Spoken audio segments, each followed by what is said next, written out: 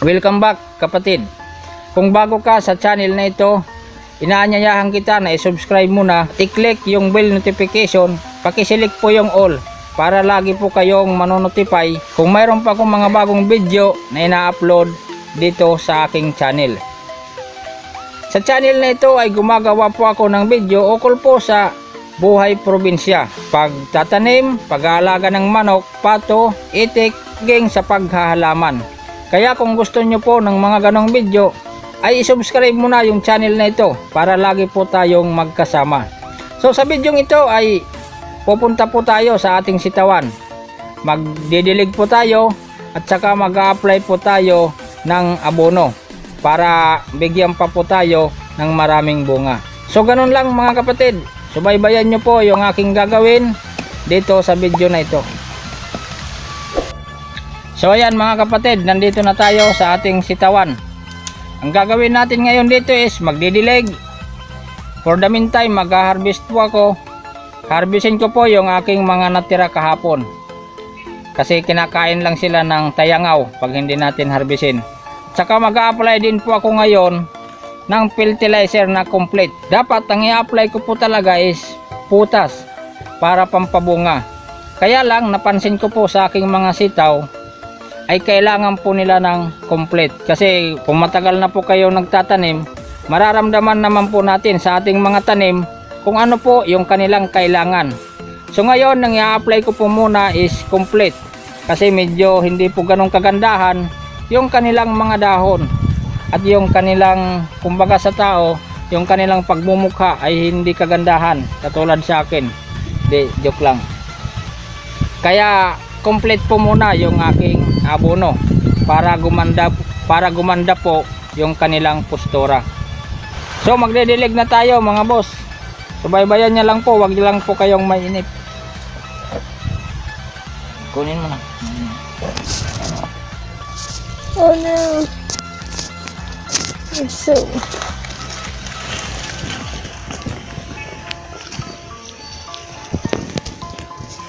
Siguro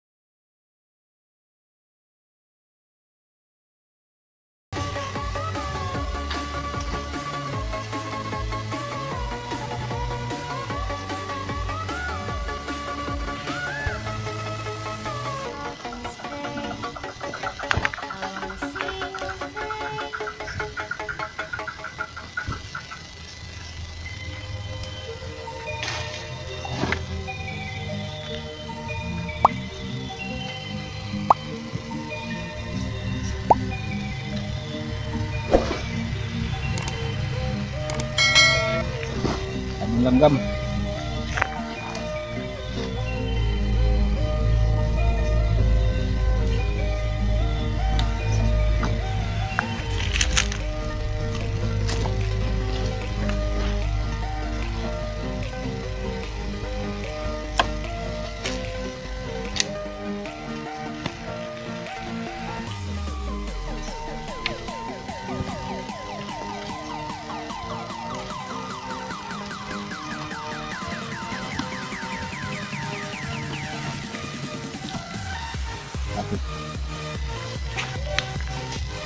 Ayan po yan mga boss, mayroon pa akong sisir sa inyo.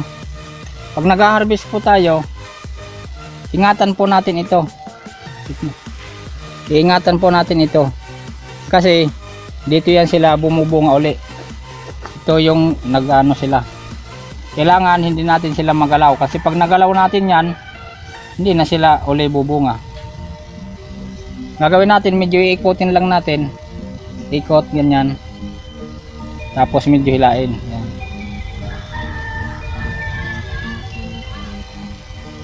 Yan lang ang technique mga boss.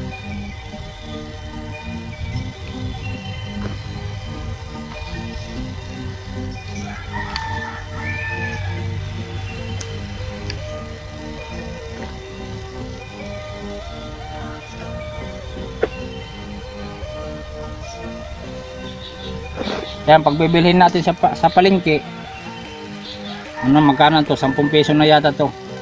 Pero dito sa amin, nananakit na yung aming tuhod sa kakain ng sitaw.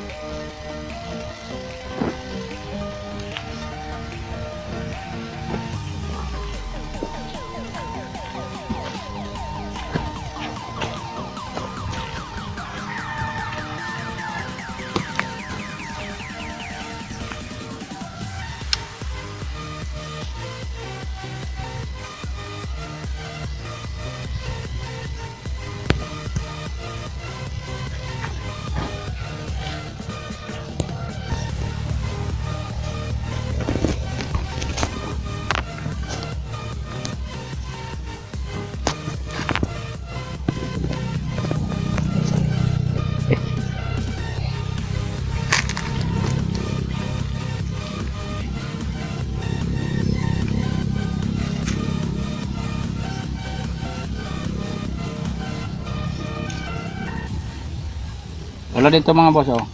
Reject siya. Ito sinipsip ito kaya nagkaganito siya. Sinipsip siya ng dayangaw. Sinisipsip nila yung buto kaya hindi lumalaki.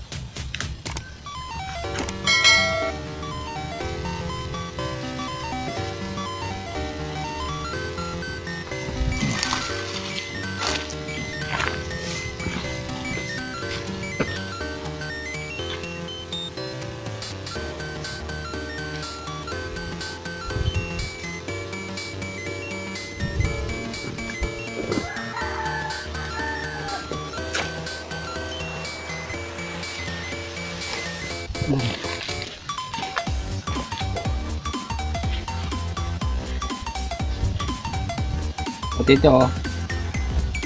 Reject. Sinipsip ng tayangaw. Hindi ko alam kung anong tawag sa Tagalog ng tayangaw eh. Mamaya manguhuli ako ng tayangaw. Papakita ko sa inyo.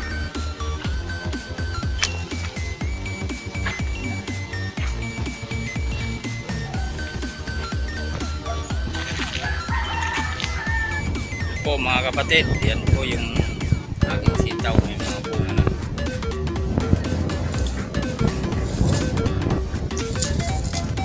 Ito yung aking misis. Saka yung aking chikiting. Nag-harvest daw sila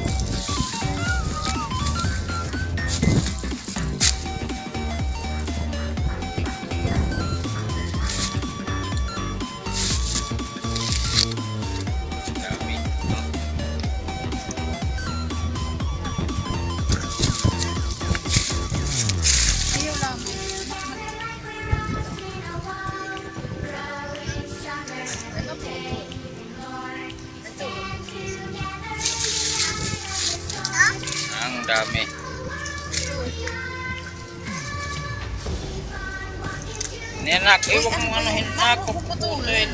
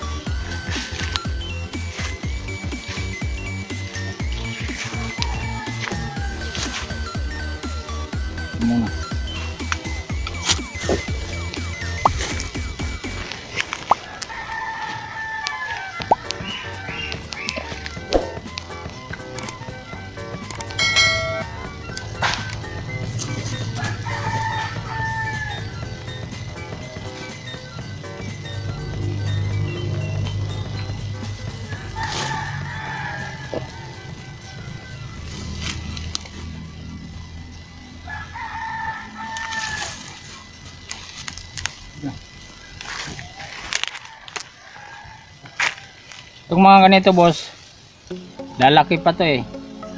Haba pa yan, kaya lang yung order sa palengke, sa merkado, yung mga ganito para abutin man sa kanila ng ilang araw ay hindi nangunguluntoy kagad.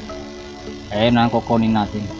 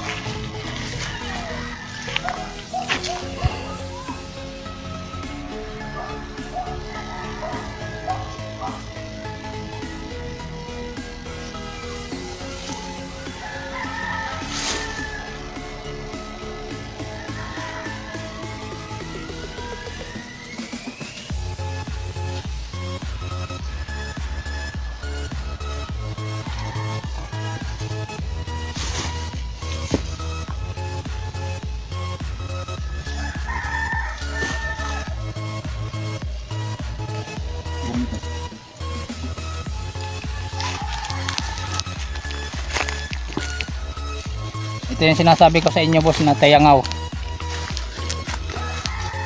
Yan. Ayan.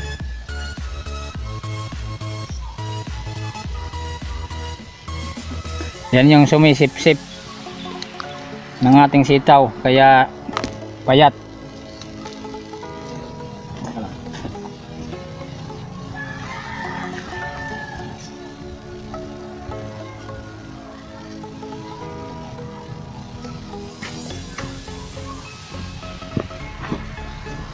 Kaya ang pinakamabisang gawin nito sa kanila boss para safety tayo yung ginagamit ko dito na insecticide is tirisin alam nyo ba yun boss yung insecticide na tirisin libre lang po yun ganito lang po yun oh.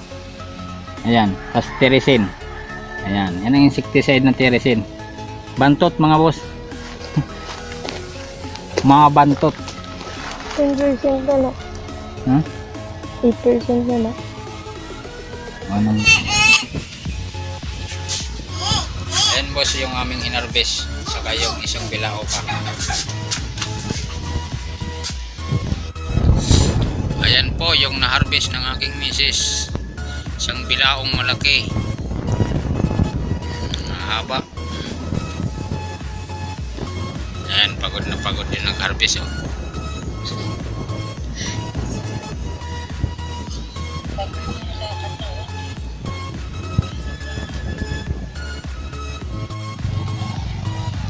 So ayan mga boss, dahil 5% na lang yung aking cellphone, hindi ko na po mapapakita lahat yung aking gagawin. Tsaka may pagsamba din po kami ng alas 6, eh mag alas 3 na kaya uuwi na ako. So sa susunod na lang po na video, saka ko ipapakita yung aking pag-apply ng abono. So sana magustuhan po ninyo yung video na ito. Huwag niyo pong kalimutang i-like, i-subscribe kung hindi ka pa nakaka-subscribe at i-share din po natin sa ating mga kaibigan. Maraming maraming salamat po sa inyong panonood. Hanggang sa muli, ako po si Milvin at ito ang aking TV.